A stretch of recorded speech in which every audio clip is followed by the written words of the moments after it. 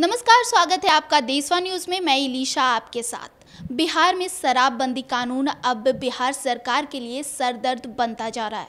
वो इसलिए क्योंकि बिहार में जिस तरीके से शराबबंदी कानून के तहत संलिप्त अपराधियों को धड़ाधड़ गिरफ़्तार किया जा रहा है, जिसके बाद कोर्ट में न्यायिक प्रक्रिया पेचीदा होते जा रहा है। अब बिहार पुलिस को कोर्ट की तरफ़ से सख्त निर्देश दिया गया है, जिसमें कहा गया है कि अब बिहार पुलिस को दिल्ली पुलिस से सीखने की ज़रूरत है। साथ ही साथ सुप्रीम कोर्ट ने कहा कि जो मामले सीआरपीसी धारा इकतालीस ए के तहत आते हैं, उनमें गिरफ्तारी ज़रूरी नहीं है। उसमें आप ऐसे लोगों को गिरफ़्तार कर सकते हैं जो लग रहे हैं कि वो भाग सकते हैं, लेकिन सभी लोगों को गिरफ़्तार करने की ज़रूरत नहीं है। जिसके बाद अब कोर्ट की तरफ़ से बिहार पुलिस को शराबबंदी कानून को लेकर सख्त निर्देश दिया गया है। शराबबंदी कानून अब बिहार सरकार के लिए सचमुच में पेचीदा बनते जा रहा है।